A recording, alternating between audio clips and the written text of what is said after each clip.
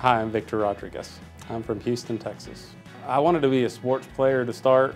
Uh, once I realized that was probably not going to happen, um, I, my dad was a lawyer, and I really saw some noble things in the profession, and I decided in high school, senior year, that I wanted to be an uh, attorney.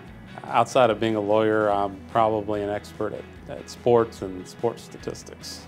I think people would be surprised to know that I uh, uh, wrestled in high school and had to wear spandex. One of my favorite places to go is to go to the American Airlines Center to Mavericks game. One of my favorite things about working here is that Amy is going to allow us to do everything we need to do to help the client, protect the client, and get them the best value possible.